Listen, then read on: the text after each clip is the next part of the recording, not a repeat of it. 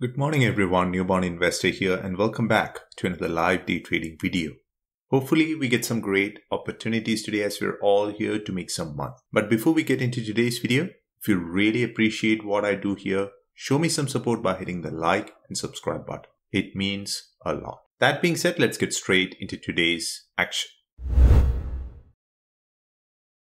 Pre-market, not looking good. Triple Q, SPY, and Tesla all gapping down CPI data is out and looks like inflation has risen another 0.4%. I think today would be another sell off day, but we could get some initial pops and then the markets may continue to fade. On SPY, I have identified some key support levels from the weekly chart. I do have one support level around the 345 area and second support around 333 area. So I'll be watching these two levels at market open, if SPY wants to give a weak bounce with an upper wick, I'll be looking to short, anticipating a further sell-off to around those two support areas. Excited going into market open? We do have around 8 minutes to market open, so I'll go ahead and pause for now and I'll talk to you guys at market open. Market is open. Watching SPY.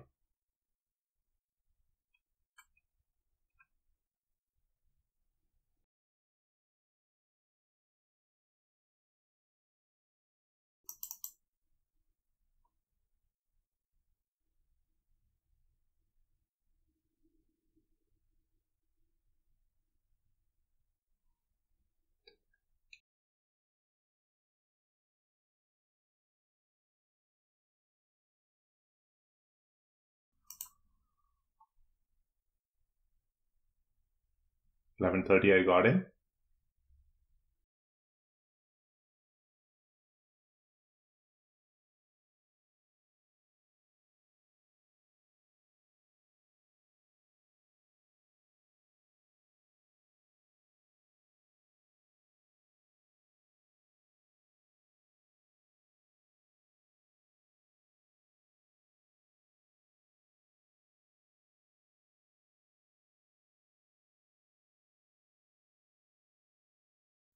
Watching carefully.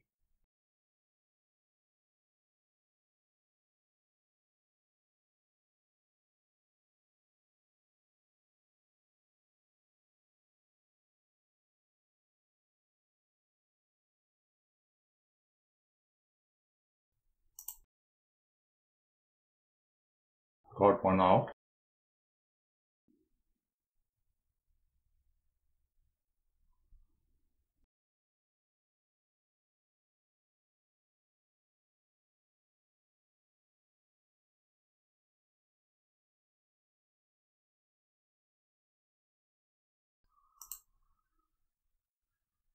Out for now.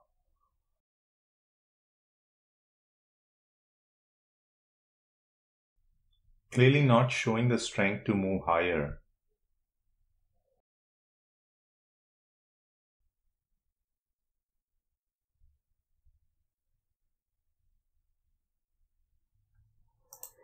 Getting in, anticipating an aim may fail.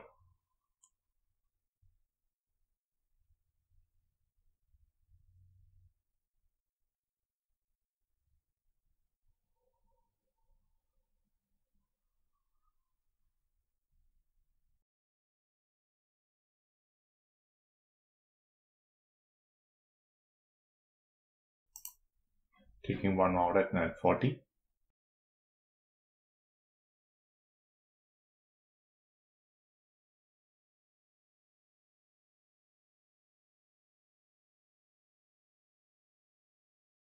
Watching very carefully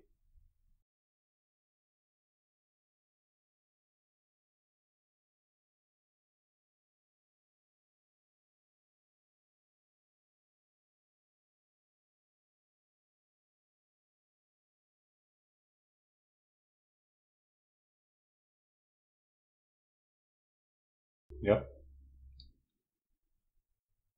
Break the current low for me, please.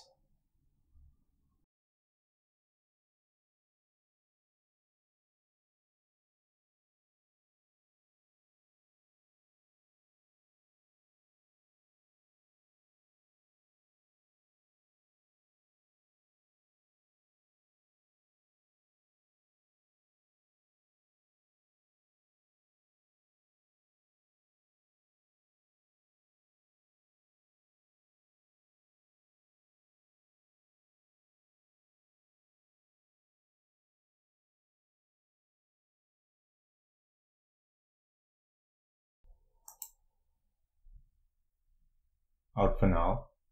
$534 in 7 minutes. I'll take it. The setup I traded here was EMF fail. I was expecting a bigger flush with volume and you could see here only 1 million shares traded. Watching SPY very carefully. In the first 5 minutes, around 12 million shares traded. Second 5 minutes, so far only 1.7. SPY bouncing. Let's see how this 5 minute candle wants to close. Over 3 minutes for this candle to close.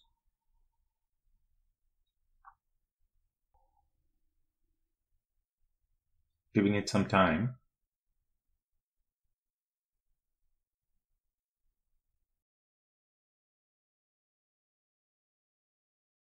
Choppiness continues. SPY doesn't want to move higher or lower.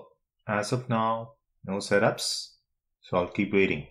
If you look at these three candles, SPY has made higher lows, signaling strength. On this candle, low was 348.53, 348.61, and 348.90. All higher lows. Retesting this area of resistance now, 350.